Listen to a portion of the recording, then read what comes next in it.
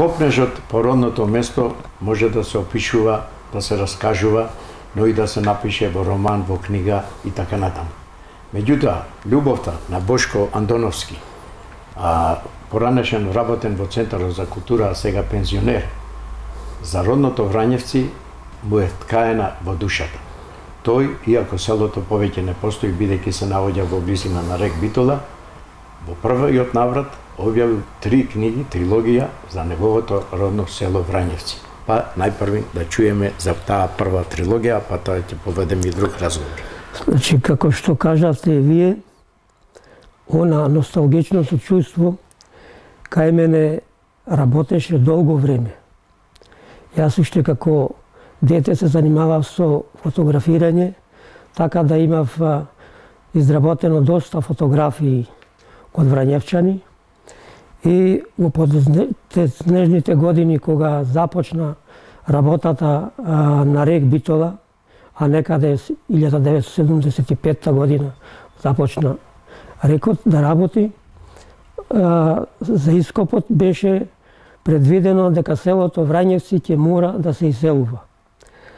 И како што си тече годините, некаде И 13-14 година ми дојде една идеја додека селото се уште имаше нешто останато таму, си велев,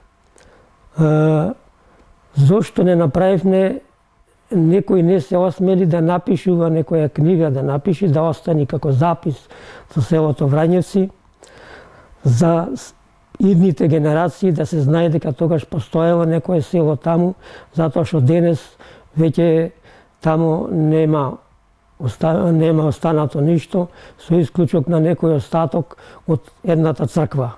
Оти да нагласам и тоа во Врањевци имаше две цркви. Таја беше е, мојата идеја за да соберам материјал колку што може повеќе за книгата, се одлучив да отворам фейс група на Фейсбук, група за Врањевци. Групата се вика Некогаш село Врањевци со Врањевчани, денес само носталгија. Целта беше да соберам од Врањевчани колку е можно поголем материјал од фотографии, од некои паметења, некој нешто да раскажи, такво нешто. Но, на жалост, бројноста остана мала за Врањевци и тие членови што беа, не беа колку што очекував активни за нешто да придобијам од нив. Добро, во секој случај, на место една книга напишавте трилогија. Е, што е обработено во тие три книги? Во тие три книги, јас првата намера ми беше да напишам една книга. Добро. Но како со текот на пишувањето доваѓаа нови и нови идеи, идеи така да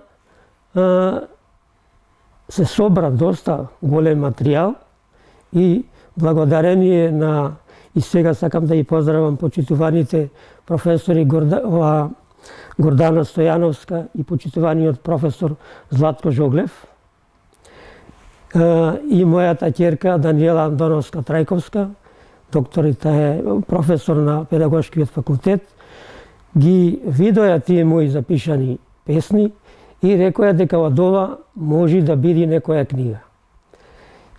Со текот на пишувањето, како што реков, бројот на, на поеми и на песни, а едната книга е во проза, се зголемуваше така да на крајот мораше да дојди да се состави трилогија.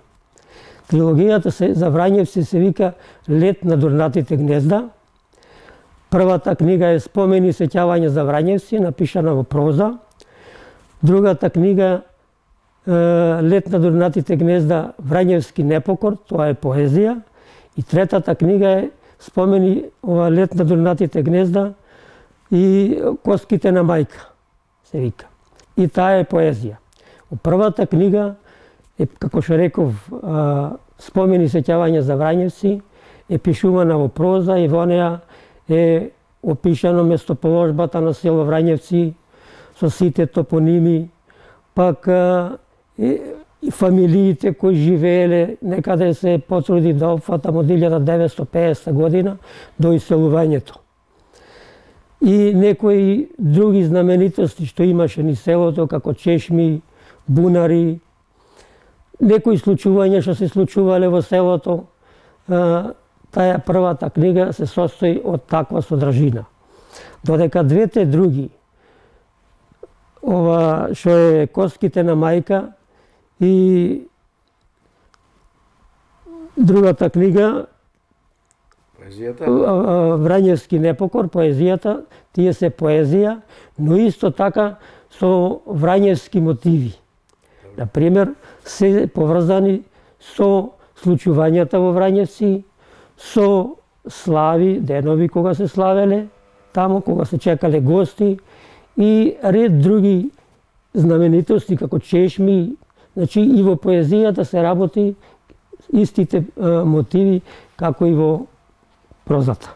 Драги гледачи, тоа беше Бошко Андоновски, пензионер од своите скромни примања, се определи да издава книги, а се надевам дека тие ќе имаат одраз и своја публика меѓу сите љубители на книгата. Еве да се надеваме дека ќе дочекаме и оваа книга раскази да го види, да речам, светлото на денот.